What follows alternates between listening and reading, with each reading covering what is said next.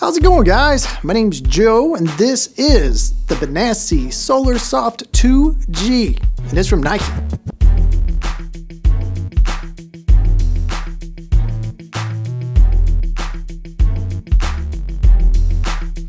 Now these sandals are going to feature a single synthetic strap here on the upper. You get the Nike Golf logo hanging out on top, and the cushioning they've used in this footbed is ridiculously cushioned. Super soft, squishy stuff.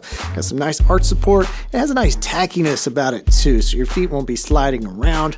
Down here on the outsole, we've got this Solarsoft material. It's got some flex grooves in there, nice aggressive tread. It's going to give you really nice flexibility. When you're done with the 18 holes, there's gonna be nothing that feels better than these on your feet. They're from Nike.